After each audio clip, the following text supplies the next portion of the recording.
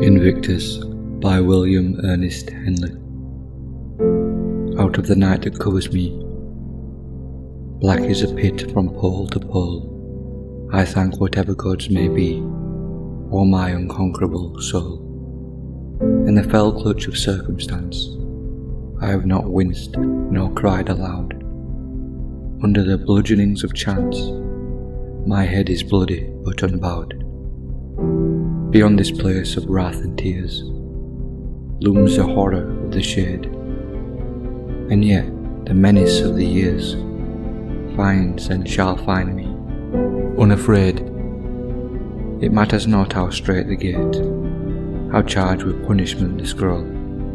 I am the master of my fate, I am the captain of my soul.